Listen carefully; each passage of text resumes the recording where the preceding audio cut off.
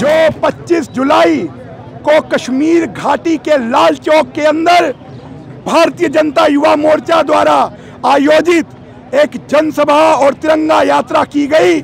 उसके लिए जो जोश है आम नौजवान के अंदर, वो जम्मू क्षेत्र का हो, कश्मीर क्षेत्र का हो, पूरे देश से दूर दूर के क्षेत्रों से आए हुए नौजवान का हो, वो देखने को बनता है। आज ये सभी जम्मू के नौजवान उस खुशी का इजहार कर रहे हैं। इस झंडे के साथ इस तिरंगे के साथ। एक तरह से आप हर घर तिरंगे की बात कर रहे हैं और कुछ दिन शेष रह गए हैं जब धारा 370 की समाप्ति की सालगिरह भी एक तरह से मनाने में उसके लिए कितनी भव्य तैयारियाँ हैं? अनुच्छेद 370 चला गया अब वो भूतकाल बन चुका है वो अब पास्ट है उस पर कोई बात नहीं होगी हर घर तिरंगा लहराएगा। कितना मनाएँगे? पाँच अगस्त पूर्णतया घर गली हर मोहल्ले हर नुक्कड़ के अंदर जश्न मनाया जा रहा है।